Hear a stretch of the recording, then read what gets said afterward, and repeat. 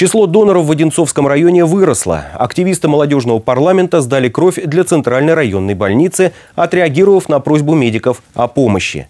Этот опыт стал для представителей молодежного парламента первым, но они предполагают, что сдача крови превратится в хорошую традицию. На той неделе проводилась э, встреча Э, молодых активистов, ну, со службы крови, ну, представителем от ЦРБ был я, и э, пытались общими усилиями расширить ряд доноров в районе. Ну, я думаю, дай бог, чтобы это приводило к положительному результату. Желающих посетить центр переливания крови оказалось много, но стать донорами смогли не все. Несовершеннолетним отказали из-за возраста. Кто-то не подошел по состоянию здоровья. Об этом журналистам рассказала председатель молодежного парламента Одинцовского района Алла Ивоева.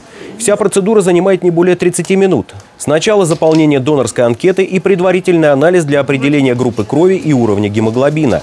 Затем доноров приглашают уже в саму операционную. После сдачи крови необходимо пройти обязательную проверку артериального давления.